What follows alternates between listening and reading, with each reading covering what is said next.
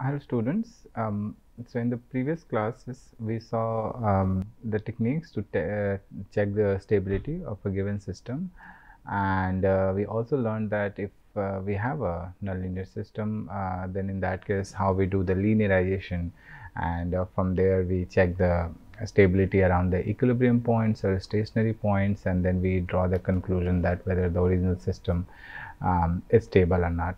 But sometimes uh, this linearization may not be possible and uh, we may not be able to get the uh, stability via this linearization method.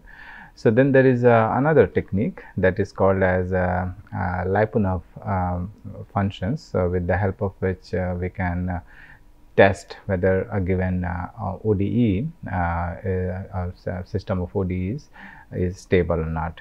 So, uh, today's class and maybe the next class we will look into the uh, stability via Lyapunov functions and uh, we will see how it works actually right. So, basically um, suppose um, so we, we first introduce some definitions. So, let uh, x uh, be the solution be the solution of the autonomous system autonomous uh, system x dot is equals to f of x. Or we can also take vector so a system of equation that is also fine.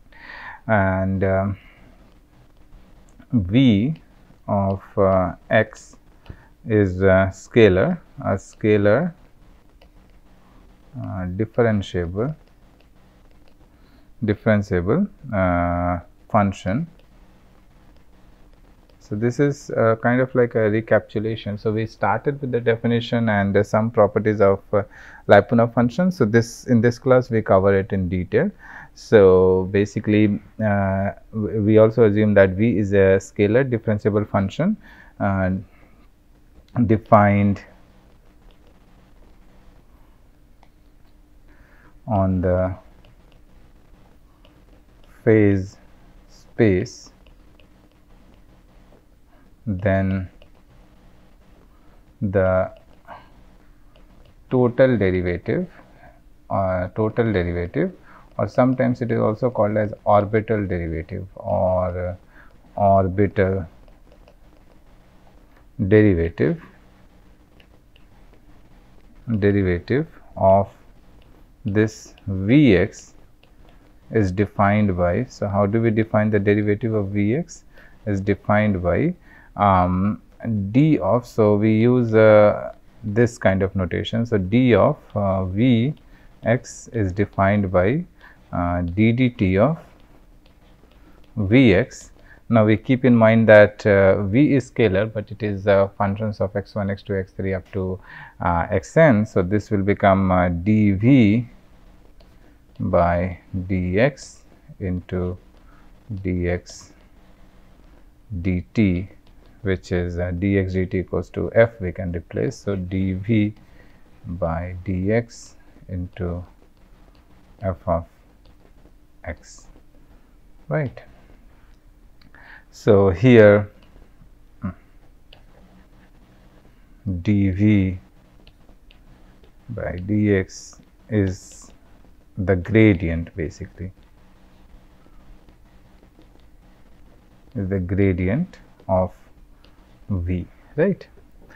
And um, so for 2 by 2 system we can easily verify this. So, V is a function of x 1 and x 2 so, in that case uh, if we do the time derivative then it will be del v by uh, so this will be um, dv um, uh, in a way um, it will happen in terms of a partial derivative. So, we, we can write uh, del v by del x 1 then uh, del x 1 del t plus uh, del v by del x 2 into del x 2 del t then we can write as a gradient of v times dx 1 dx 2 right. So, from there we can uh, see this that this formula is turning out to be the uh, the the product I mean the dot product of the gradient of v with respect to x and uh, into the function uh, f of x. So, this is a kind of like uh, this v act as a uh, function that we multiply to our original system of equations to get the stability right. So, we will see how we are motivating uh, the idea of Lyapunov function using this uh, capital V. So, um, and uh, of course, you can write here uh, comma here this and this dot is the inner product or dot product is the inner product right. Um, so, basically this equation let us call this as equation 2 and this one was our equation 1. So, equation 2 equation 2 indicates indicates that the time derivative that the time derivative of v along the solution along the solution of 1 the time derivative of uh, v along the solution of 1 uh, is given by is given by the projection of projection of gradient of v on the vector field or on the right hand side. On the right hand side right hand side f. This is kind of like a projection definition. So basically the derivative of v along the solution of 1 is nothing but the projection of gradient of uh, v uh, on the right hand side f. Right. Okay. Now uh, let me introduce one or two more definitions so basically uh, definition 1 the first definition is a function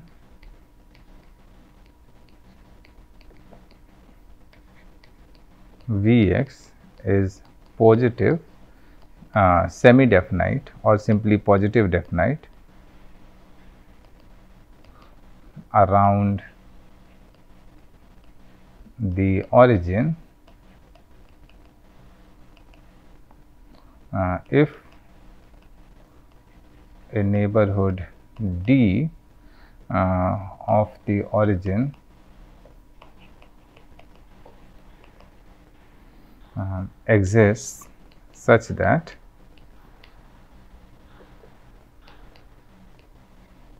such that V x is differentiable on D. Second criteria is V at 0 equals to 0 and third criteria is Vx is positive uh, definite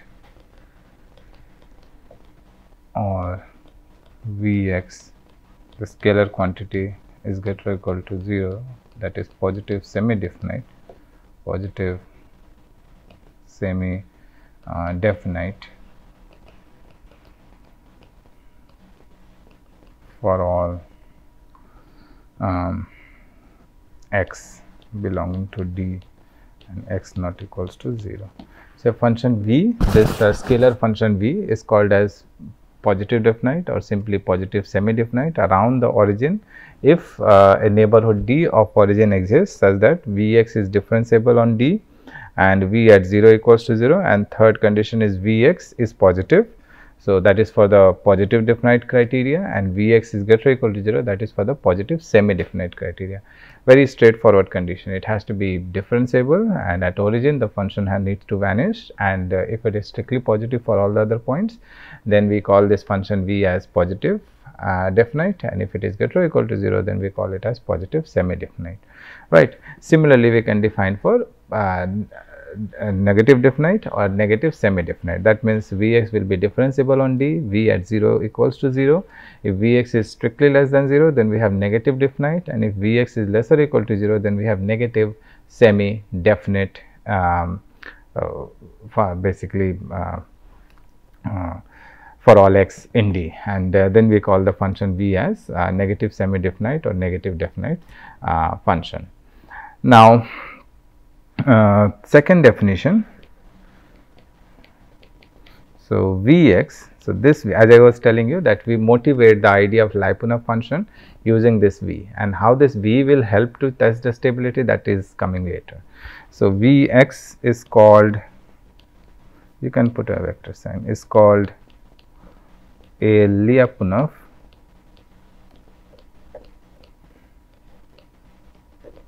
function for a vector field f which uh, has the origin um, as stationary point as a stationary point if a bounded neighborhood if a bounded neighborhood NBD uh, D of uh, origin exists such that such that first criteria is Vx is positive definite on D and the derivative d of Vx is negative semi definite on D right.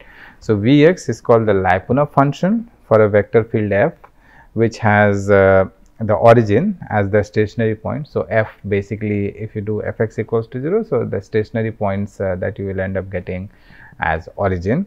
So, if a bounded neighborhood D, so a bounded neighborhood D of the origin exists such that V is positive definite and the de derivative of uh, V is negative semi definite on this interval uh, on this neighborhood D. So, then it is called as Lyapunov function and uh, it is called as uh, strongly I mean let me just extend this definition.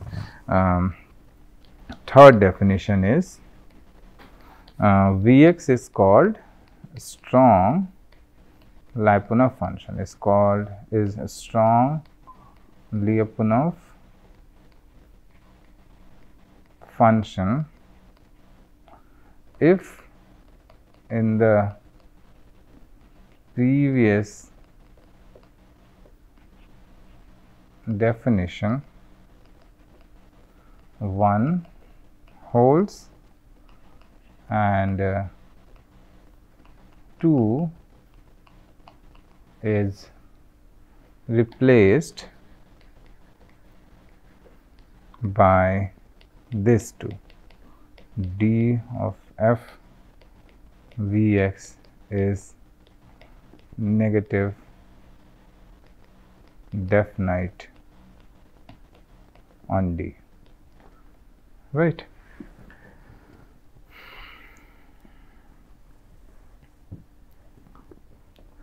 Okay.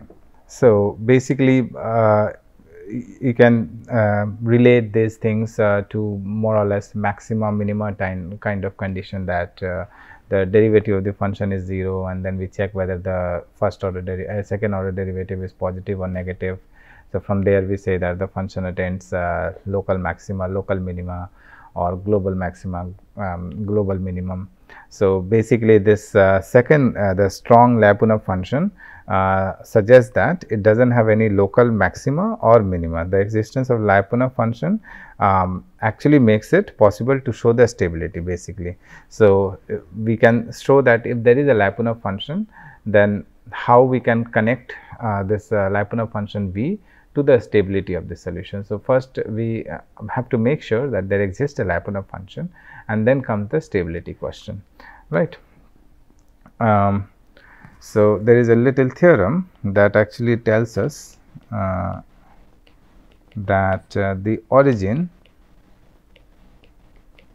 the origin is a stable uh, stationary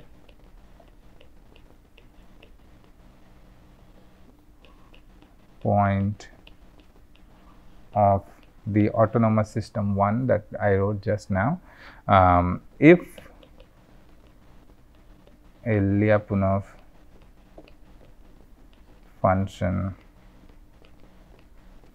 uh, if uh, a Lyapunov function uh, for the vector field f exists. So, that means uh, the origin uh, basically when we are doing uh, dx dt equals to f from there we get the stationary points. So, stationary the origin will be a stable stationary point of the system if there exists Lyapunov function for the right hand side that means uh, that we can find this Vx which satisfies the definition 2 or definition 3 and uh, then in that case we can say that this origin is actually a um, stable uh, uh or stationary point. So, here um, I can uh, try to prove this result. So, the proof is not uh, that long. So, this because this is one of the vital results. So, suppose for a ball, so we consider a small ball around the origin. So, for a ball around the origin, around the origin, we denote what do how do we denote? So, B of epsilon is equals to all such x such that norm of x is less than epsilon strictly less than epsilon and uh, um, for a sphere for a sphere s epsilon for a sphere s epsilon we write all such x such that norm of x is equals to epsilon right. So, for a ball around the origin we use the notation uh, b epsilon as uh, all such x such that norm of x is less than epsilon and for a sphere we denote the notation s epsilon equals to this. Okay. Now, um, from the definition 2 basically. So, from the uh, from the stability point of view we have to show that uh, from the stability point of view point of view we have to show that we have to show that for any epsilon positive a delta epsilon exists such that such that all solutions all solutions uh, starting within B delta uh, remains in B epsilon for t greater equal to t 0. This is the stability criteria that we are saying that if you start with the solution uh, at x 0 then the solution will always stay within the neighborhood around the point x 0. So, here from that perspective uh, and uh, if we want to test the stability then we just have to take a solution. Uh, so, for any epsilon positive there exists a delta positive such that um, the solution starting within the ball B delta will always remain in the ball B epsilon for all t greater equal to t 0 right. Okay. So, first um, so first we take uh, the largest take the largest epsilon 0 positive such that b epsilon 0 and S epsilon 0 are fully contained in D. All right. And uh, we show that we show that um, delta epsilon exists and we show that delta epsilon exists for all epsilon less than or equal to epsilon 0 right. Okay. So uh, the minimum the minimum of Lyapunov function v on s epsilon 0 is denoted by v minimum. So, we denote it by v minimum which is minimum of all such x in s epsilon 0 v of x right. So, that is the minimum. So, because v is positive definite, v is positive definite, we have v minimum always greater than 0 so, because uh, V x will be positive for all x. So, obviously, V minimum uh, that is the minimum value of all such V x uh, over uh, where x belongs to S of epsilon. Obviously, V minimum uh, minimum will be positive. And uh, next, we consider the subset we consider the subset consider the subset of b epsilon 0 at which v is smaller than v minimum so let us consider a subset uh, subset uh, of b epsilon 0 uh, at which this v the Lyapunov function is smaller than v minimum. So, we are denoting it by d of epsilon 0 is equals to all such x such that x belongs to b epsilon 0 and uh, v x is less than v minimum. So, solution starting in so basically the solutions uh, which are starting in d epsilon 0 cannot leave it cannot leave it because the value of v the value of v cannot increase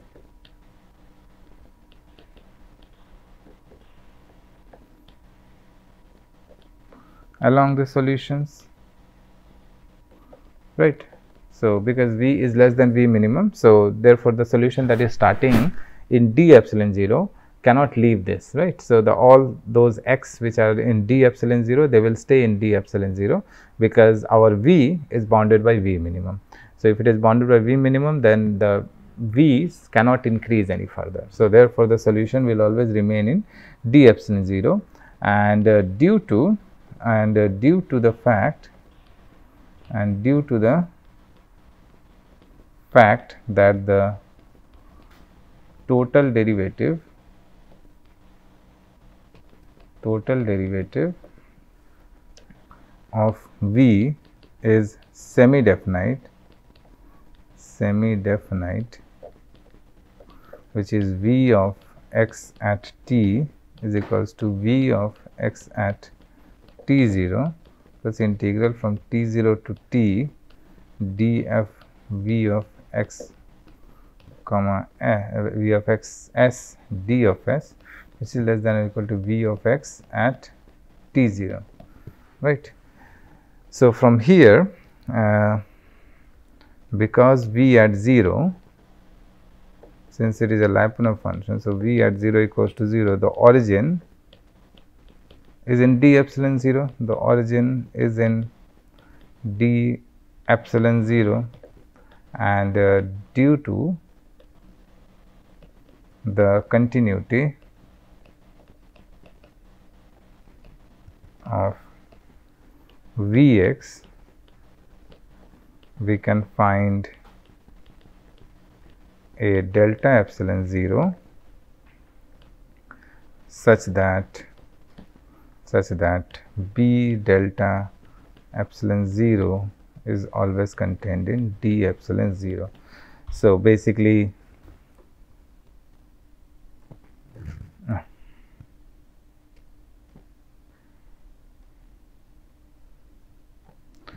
So, basically um, we have assumed uh, uh, epsilon greater than epsilon 0 and uh, we arrived at this conclusion and the same argument the same argument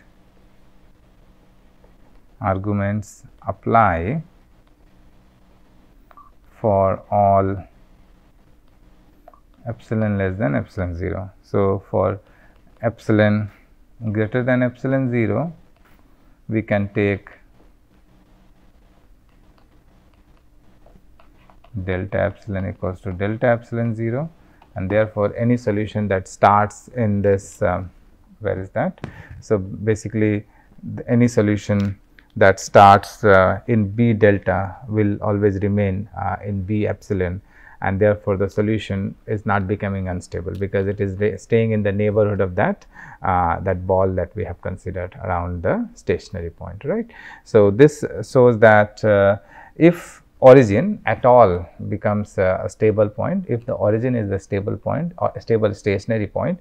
So, then in that case there will always exist a Lyapunov function and uh, that Lyapunov function actually can be uh, given by V x equals to that uh, I mean um, we, we, we see how we can calculate it, but uh, d its derivative can be calculated by that d of uh, v x equals to dx dt times uh, f of um, x. And from there we can basically use the positive definite or uh, negative definite uh, definitions to prove this particular result. Um, for asymptotic uh, stability, uh, we can motivate the similar results. So, we said that origin is stable stationary point if there exists a Lyapunov function. We can also uh, say that origin is an asymptotically stable stationary point if uh, there exists a strong Lyapunov function. So, the similar argument can be applied to uh, this theorem. So, the origin the origin um, is an asymptotically asymptotically uh, stable stationary point stationary point of the original autonomous system 1 if a strong Lyapunov function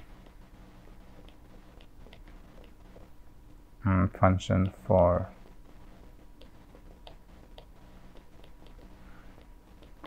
for f exists right. So, if it is just stable then we will have a Lyapunov function if it is uh, asymptotically stable then we have a strong Lyapunov function right. The idea is same uh, to prove the result. Um, all right. Next, um, um, so proof is left to the reader. So, proof uh, proof is left to the students or audience. You can try to prove another similar arguments. So, this these are the few theorems or uh, definitions and few theorems where we can see that if we talk about stability or asymptotic stability, then we will have a Lyapunov function uh, or there exists always a Lyapunov function and uh, we also proved at least uh, the first theorem. The second theorem goes in the analogous way with some obvious modifications, right. So, we, I will try to show you one example in the next class uh, where we see how we can implement this uh, um, idea of Lyapunov function and how we can calculate the Lyapunov function and uh, we will work out one example to um, give you the idea of this uh, abstract things that we covered in this class. All right. So, I will stop here today and uh, we will continue our discussion in the next class. Thank you.